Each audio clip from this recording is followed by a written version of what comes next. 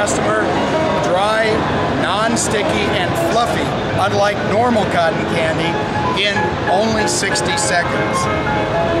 What you're watching is the stick feed operation going into the bowl.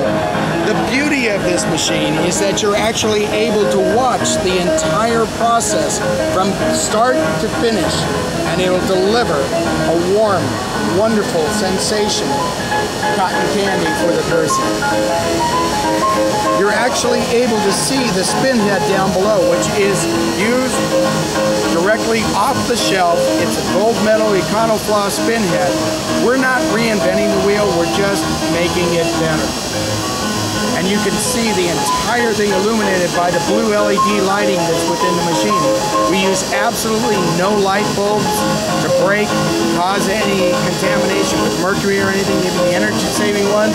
What we use is LED throughout the machine. And as you can see, it's being shaped perfectly within the stainless steel bowl. In fact, everything throughout this machine is stainless steel.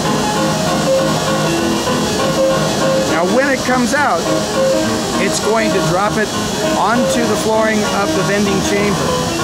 Then, as soon as everything is no longer moving within the machine, it allows you to open the door. Right now, if I try to open the door, it remains locked for safety and liability reasons.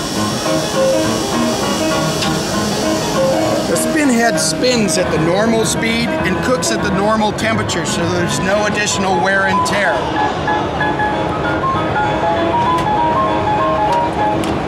Can't open, but now as soon as the blue lights flash, it indicates that it's ready to be picked up and the cotton candy comes out dry, non-sticky,